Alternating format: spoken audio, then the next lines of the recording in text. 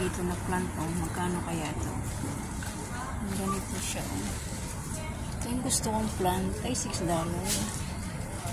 Ito, si $8. Mahal pala to. Ito maganda rin to. $6 siya. Ito, $8. Medyo mahal to. Tapos tingnan natin kung magkano. Ah, $15. Mas mahal pala to. Grabe. $15 siya. Tapos ito, how much?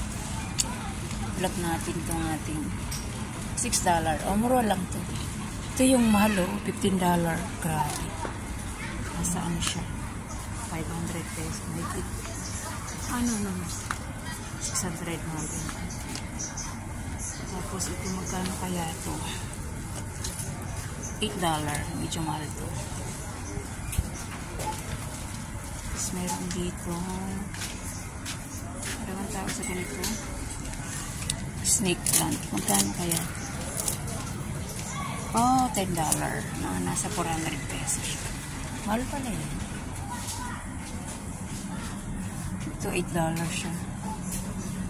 Tapos ito, $8 din yung may flower. Ito, mura lang to. $6 lang siya. Hmm.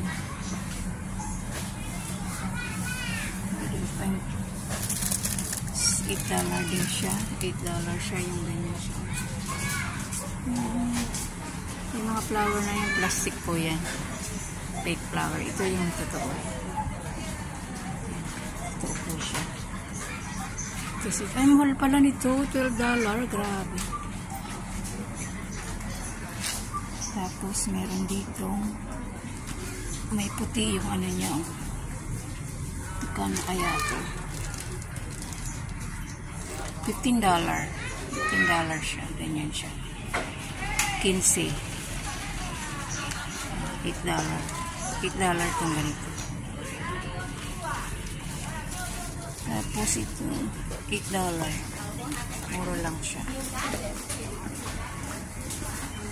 Yung ganito, $8. Para para sila ng price. Ano lang ang $10. Ito. Ah, mura to. $5 lang to. Ito $6. Mura lang pala to. Na alam ko. Ano kayang plant